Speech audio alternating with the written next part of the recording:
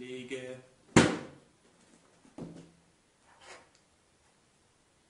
Hi, this is Miguel.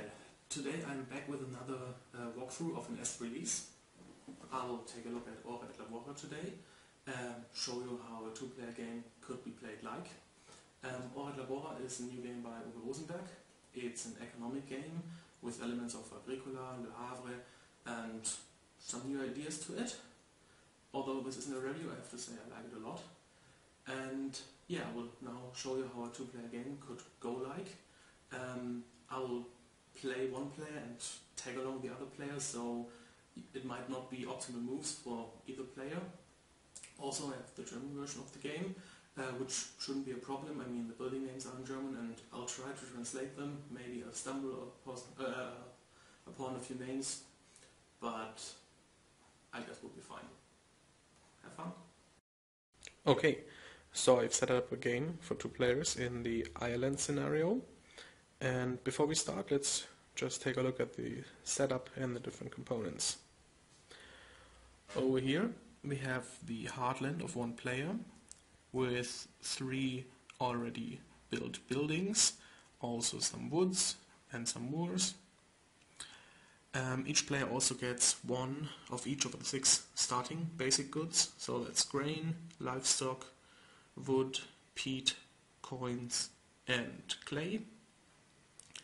Also each player has three clergymen, two lay brothers and a prior, and a set of four settlements.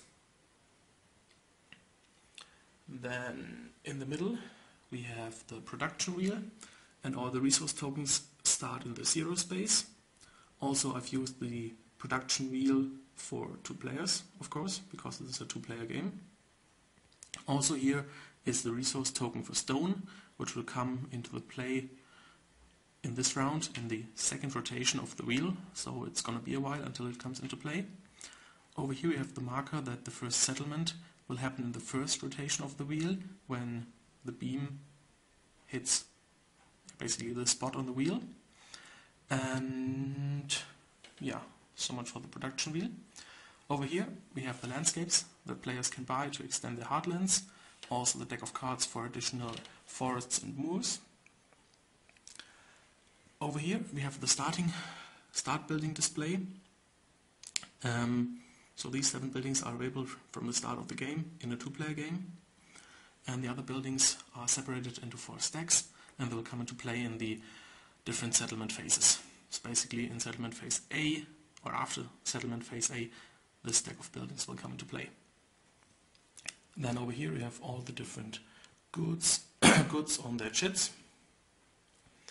And finally we have a player aid where we can see the different landscape types, how a round turns out, what actions there, what actions there are in the game, what additional actions are, and finally which scenario we're playing, the Ireland scenario, and what kind of goods are available. Okay, then I guess we're ready to start the first round. The game works a little bit differently in a two-player game than in a three or four-player game because each player takes a turn and at the start of their turn they will advance the wheel and then they take two actions and then it's the other player's turn. Okay, so the blue player is starting and for his first action he decides he wants some wood. So cutting wood is one of the actions you can take and what you'll do, you'll remove one of the cards a forest card of course, and on it says, look at the production wheel and get as many wood as the wood counter says on the production wheel. So if you look over here, you see that the wood counter is currently on 1. You move it to the 0 space and we get a wood from the supply. So that was the first action. And with the second action we're going to build a building, namely this cloister yard over here and you see it's yellow. That means it's a cloister building, so it has to go next to other cloister buildings. So basically we don't have any other option than putting it here. And finally, since we just built a building and our prior is still unused, we can immediately put him into the building and use it. And it says we can give away three different goods to get six of the same basic good. And of course, sorry, first I have to pay two wood to actually uh, build the building. Okay, so I'm now going to give away these three markers, three different goods, and I get six of the same kind, six grain. So that was the first player's first turn. Then the second player, at the start of his turn, we advance the wheel. Then the second player decides to use his basic cloister building with his pawn, with one of the lay brothers, and here it says get as many coins as the coin marker is on the production wheel. So the coin marker is at the 2 space, so we put it on the 0 space, and we get 2 coins. Then as an additional action, which you can take one of on your turn, no, sorry, as an additional action we want to buy a new landscape and that you can do once per turn. There are other additional actions which you can do multiple times on your turn. So we want one of these. It costs three coins, which we now have since we just took two, but we want it on the coastal side. So it goes here. We pay the three coins, and we have a second action. And what we want to do now is build a building. The houseboat. It costs wood. It has to go on water, which we conveniently just have right now. And we put it here, and we pay the wood. Then our prior is free, so we take it, can use the building, and we'll get a wood, a malt, a coin, and a peat.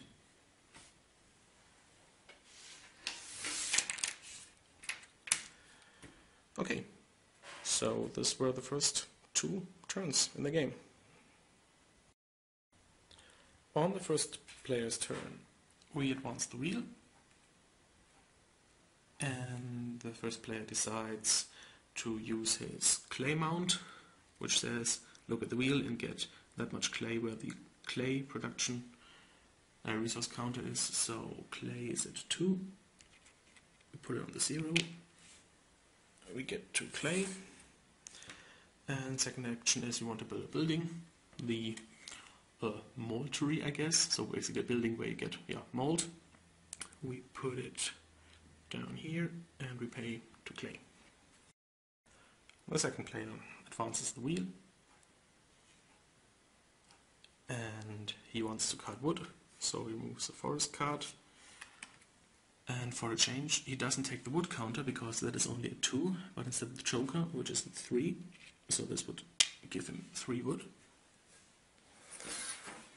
and then he builds a building which in this, this case is the fake lighthouse. It has to go on the coastal space, which he has, and it costs two wood and a clay. The blue player advances the wheel and then decides that he wants to visit his own barnyard where he can get either grain from the production wheel or sheep he or livestock he decides to get livestock so this is put here and he gets four of them. So now he can't use any clergyman any longer. He can't build a building, so basically all he can do is either cut peat or fell a tree. So he decides to cut peat. The card is removed. The count is removed to zero, so he will get four peat. And then on the red player's turn, before he starts and turns the wheel, we see that the blue player has all of their persons reused, so they are all returned to him. And then we normally advance the wheel. And he decides that he wants to use his fake lighthouse, so it goes in there. He gets three coins and a choice of either a beer or a whiskey, and he decides to take a beer.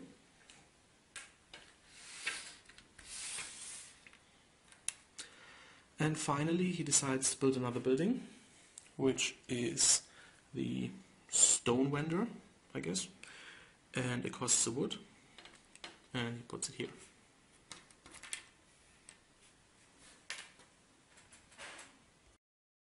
At the beginning of the blue player's turn, several things happen. First, we note that the red player has used all the clergymen, so he gets them all back.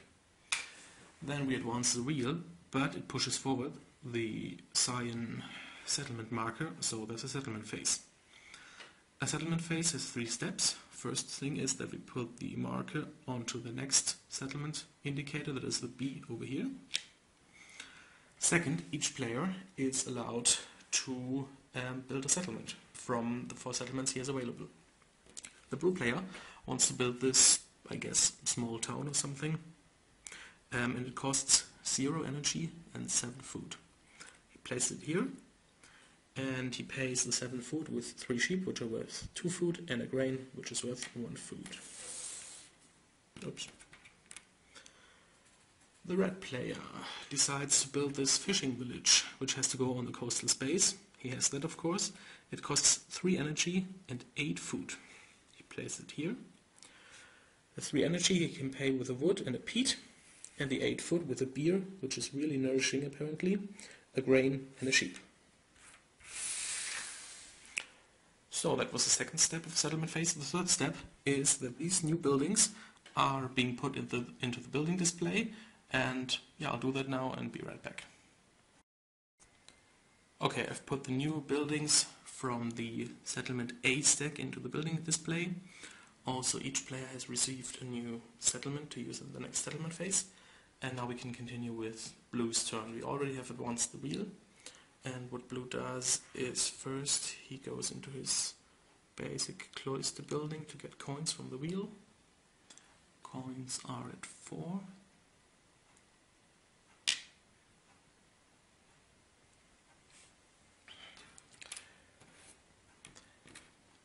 Then he decides to cut wood.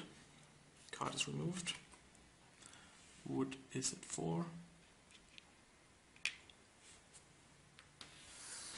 And finally, as an additional action, he decides to build a new uh, landscape tile, one of these. He has a choice where one has two woods, a moor, and two cliff spaces, or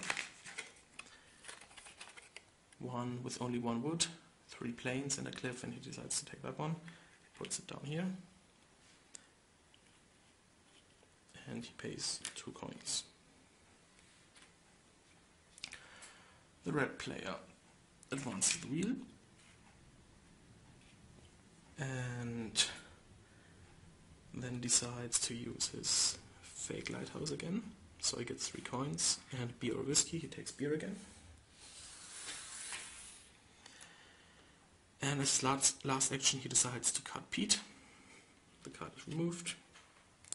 Peat is at 2, the Joker is at 3, so he decides to take the Joker and gets 3 peat. Blue player advances the wheel. Then he decides he wants to build a building. This uh, scriptorium. It's a cloister building, so he has to put it either here or here. He chooses this base. It costs a wood and a straw. So wood, and you can always flip grain to straw. So wood and a straw of being paid. And then you can use his prior to immediately use the building. Still it's the same action. What happens? He has to pay a coin, but then he gets a book, a meat, and a whiskey. So he flips the coin, basically spending it, and there's the book. And also here's the meat and whiskey. As a second action, the blue player decides to give a work order to the other player, so he pays him a coin and asks him to use the stone vendor. So the red player puts one of his pawns in there. And the stone vendor you can up to five times pay two food and one energy to get a stone. The blue player decides to do this four times. So basically that's eight food and four energy. Eight food is meat, grain, and livestock, and four energy is two peat. So he pays all this and gets four stone. The red player advances the wheel and decides to use his clay mount where he will collect clay from the production wheel. Clay is at 5, so let's 5 clay for him. And then he decides to give a work order to the other player, so he again pays him a coin and tells him to move into his cloister yard where he can get six of the same basic goods for three different goods. So he decides to pay a coin, a malt, and a clay, three different goods, and he wants six wood for it.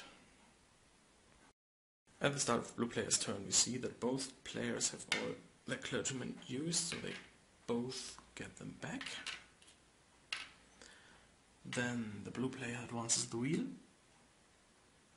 and he decides to go to his barnyard to take the grain that has accumulated here.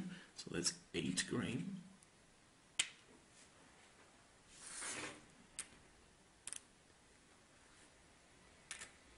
Okay, and then he decides he wants to do something with this grain. So he goes to the mouldery where you can turn any amount of grain into the same amount of straw and malt.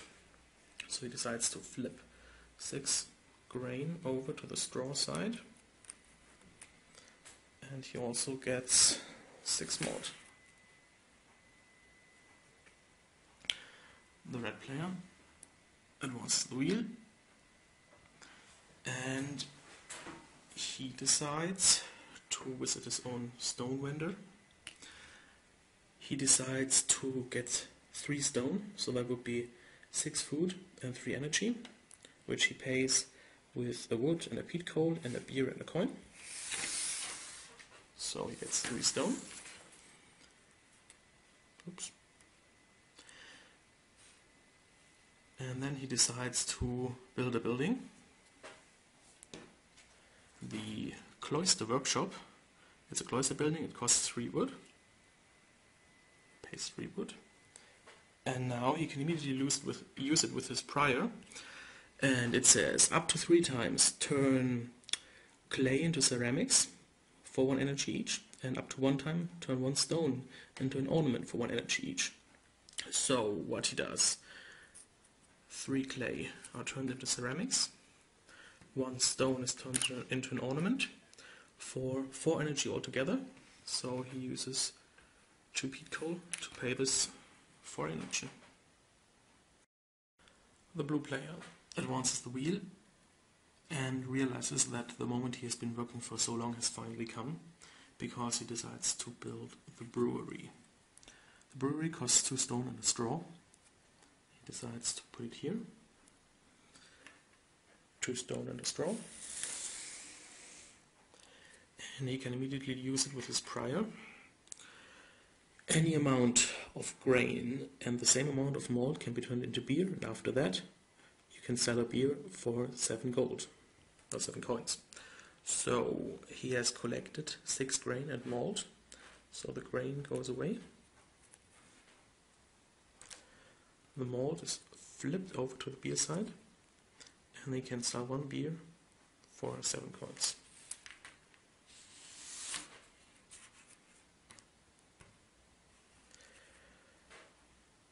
Um, before his second action, from these seven coins, he would like to buy another one of these land strips which costs him 3 and I see that earlier I forgot to actually put a forest on there. So we do that now. So one forest here for earlier and one forest now. And then as a second action he decides to build yet another building. This stone circle here that costs a stone. Not surprisingly, stone circle costing stone. Then it's the um, red player's turn. So what happens is that the blue player gets his pawns back. And then we advance the wheel and we see it's another settlement phase. So the marker first is put from B to C over here. Then the red player is allowed to build a settlement and he chooses the artist colony that'll cost him one energy and five food. So he pays the five food with coins and the one energy with a wood. And the blue player wants to build also his artist colony and he wants to put it here. And the five food he pays with a beer and the energy with a wood. Okay, so the next in order is to put out the new buildings and I'll do that and be right back.